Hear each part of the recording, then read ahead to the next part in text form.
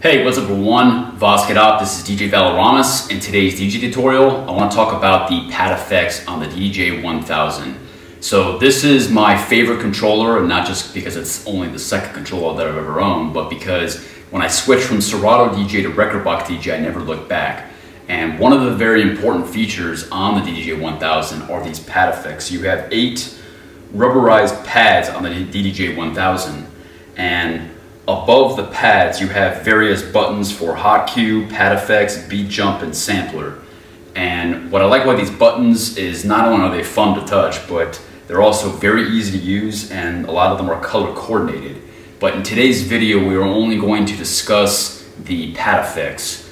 So we will take a closer look and I will show you some specific features of the pad effects and specifically how to adjust some of the settings to maybe make it more user-friendly for you as a DJ. So let's take a closer look now. Okay, so in general, there are three types of effects on the DJ 1000. You have the beat effects, you have the sound color effects, and you have the release effects.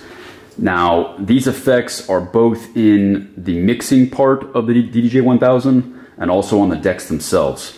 So on the mixing, on the, mic the, the mixer section of the DJ 1000, you have the sound color effects right here. So if you're playing a track, you can activate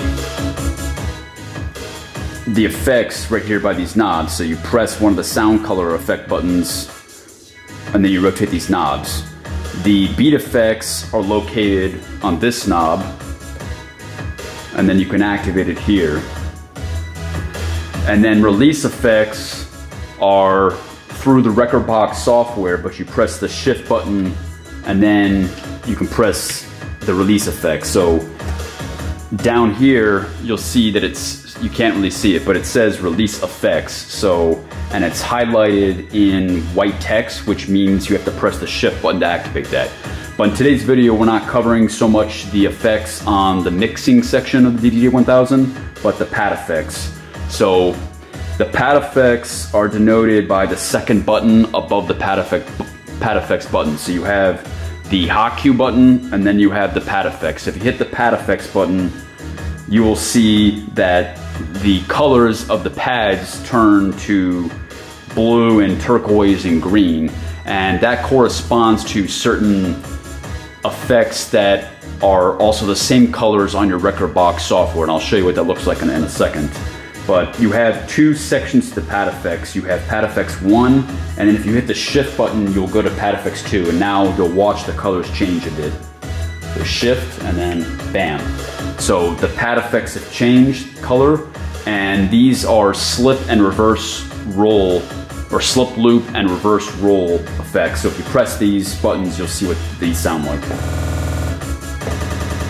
And these are all the slip loops. These vary from 1 16th note to 1 8th note to a quarter note and then to a half note. Now, pad effects 1, these all correspond to different effects as well, and it's denoted by color code. So the first three are roll, sweep, and flanger. So here's the roll. And you have to press it and hold it in order to activate it. Here is the sweep. This is good for in the middle of a mix or when you're not mixing but in the middle of a track. And this is the flanger. Again, this is good for the middle of a song. So if you have a long song that you want to add some spice and some flair to in the middle of your set, you can activate this effect. And then the fourth effect denoted in blue is actually one of the reverse effects. And this is the vinyl break. So you have to hold it and then, and then release it and then the track will play again. And then the second row is an echo quarter note and then an echo half note. And I have these settings fairly low so you can't hear that as well, but I will turn up the settings a bit to 50% and you'll be able to hear these a bit better. So here's echo.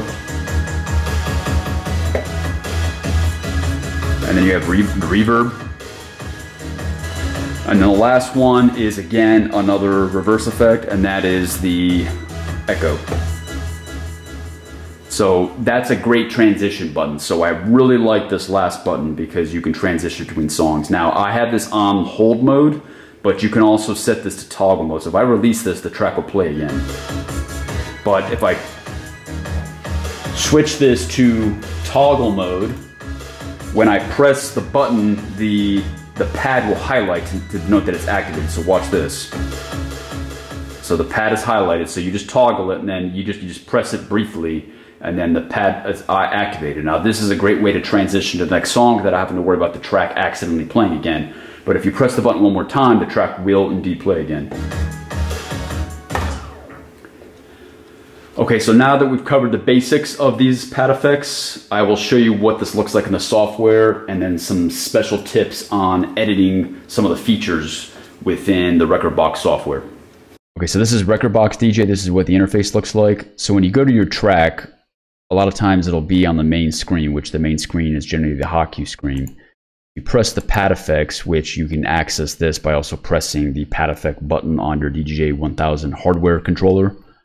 You will be able to see the various effects within the pad effects section.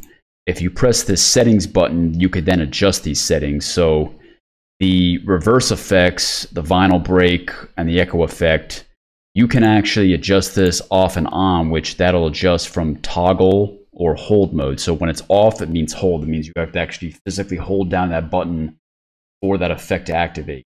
If you leave it on toggle mode, that means you can just press it once. That's when that button will highlight and then the effect will execute and then the track will stop. And so it's a great way, toggle mode is a great way to reduce the amount of time you have to press buttons, the amount of clicks you have to.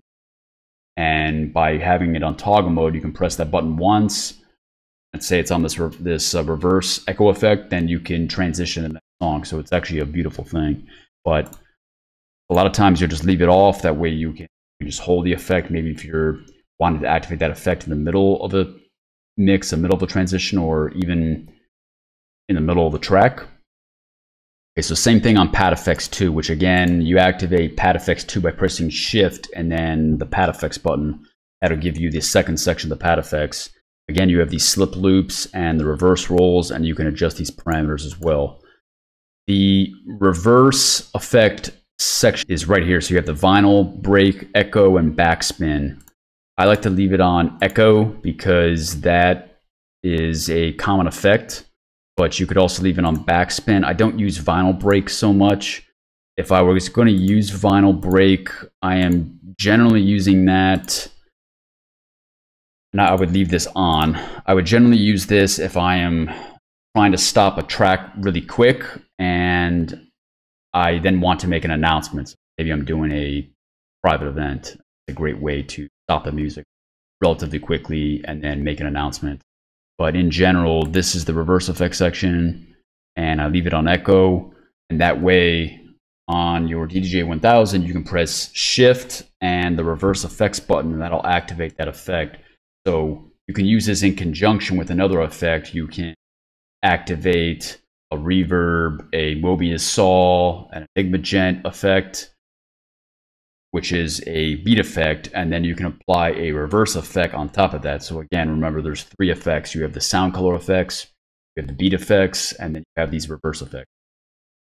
Okay, so there you have it. That's my tutorial on the pad effects on the DDJ 1000. If you found this helpful, please let me know that in the comments below. If you think I'm forgetting something, please also leave it in the comments below. If you like this content, like to see more, please like, comment, share, and subscribe. Thank you.